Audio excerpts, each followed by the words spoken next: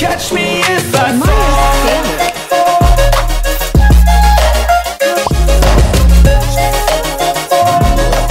Follow us on Facebook, YouTube, and TikTok.